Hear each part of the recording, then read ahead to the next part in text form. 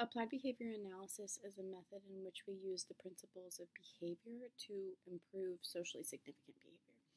Um, it's a scientific approach to understanding behavior involving the focus on how behaviors are affected by the things around them, um, which is what we call the environment, and has us ask how to, um, you know, how can we manipulate the environment to increase socially significant behaviors and potentially decrease behaviors that are not socially significant.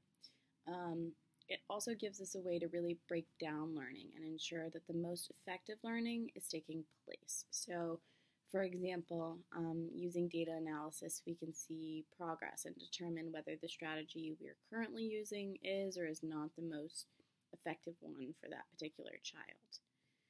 Um, so then, when it comes to um, applied behavior analysis not being personal, um, it's instead evidence based, which means that everything done in the field should rely on research and be supported by evidence.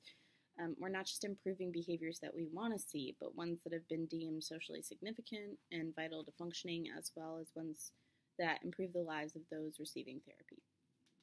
Um, for example, programs like self dressing allow a person to be more autonomous and therefore not have to rely so much on other people for basic living um, which improves their quality of life. Um, another example would be increasing instances of requesting help, which helps a student gain um, access to what he or she needs and prevents safety issues when a child cannot ask for help. Uh, practicing ABA is highly regulated. Um, we have an ethical compliance code that ensures ethical treatment of our clients. Um, this code specifies that despite the many principles of ABA, we must rely uh, on positive reinforcement before using any punishment techniques.